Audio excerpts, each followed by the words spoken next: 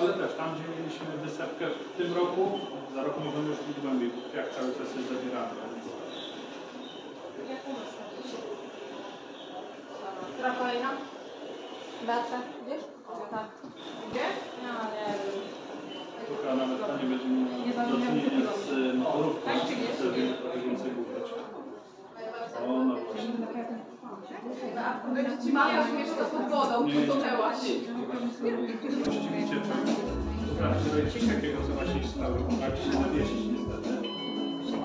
No, ale tak. to też trochę wyżyłowanie, bo jeżeli jest wycieczka, powiedzmy 50 dzieci, to 50 osób pełną trasę pływa.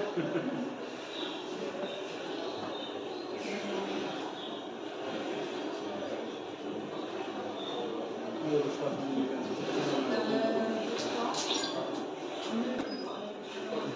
No i też będzie płynie.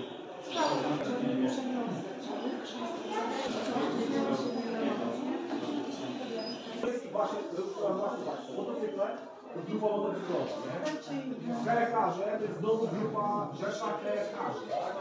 E, Którzy Zapraszam do namiotu.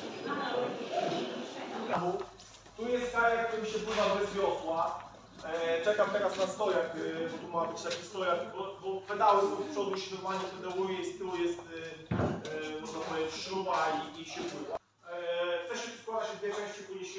Kajak typowy sportowy K1, używany na mistrzostwach, normalnie na wszystkich mistrzostwach tutaj e, szkoleniach i nocują w jednej kwaterze. To się trochę boi wody, a boi się, że to na basen. Tak, ktoś się totalnie e, na budu, kajaki, na regiony, to już nie jesteśmy wykorzystani na grupie, nie wchodzimy w kwestie pił kajakowych. Jest jakby my tylko współpracujemy i centrum ma też napędzać i pomagać im, żeby oni się rozkręcali. Więc to jakby są